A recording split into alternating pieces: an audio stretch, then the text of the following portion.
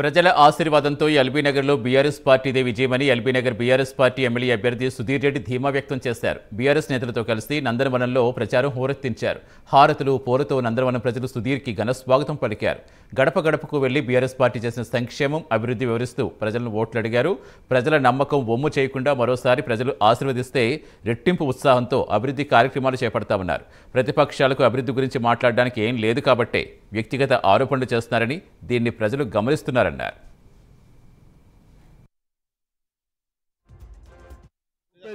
నందనవనం Janardhan Reddy colony అన్ని కూడా పాదయాత్రలు చేస్తా ఉన్నాము.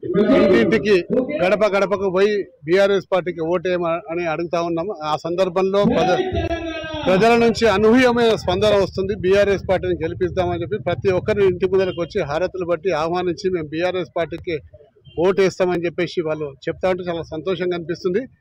మరి వాళ్ళు మా మీద నమ్మకం ఉంచి శాసనసభకు పంపిస్తుంది కాబట్టి తప్పకుండా వాళ్ళ నమ్మకాన్ని బొమ్మ చేయకుండా రేపు ఈ ప్రాంతంలో అభివృద్ధి కార్యక్రమాలన్నీ కూడా చేస్తాం. ముఖ్యమంత్రి గారిని మూడవసారి ఆశీర్వదించి వారు ముఖ్యమంత్రి పీఠం మీద కూర్చోబెడతాం. అందరూ కూడా ఆ బాధ్యతను భుజస్కంధ తల మీద తీసుకుంటున్న సందర్భంగా వారికి అందరికీ ధన్యవాదాలు తెలుపుకుంటున్నాను. నాకు చెప్పుకుంటాం ఏమీ లేవు.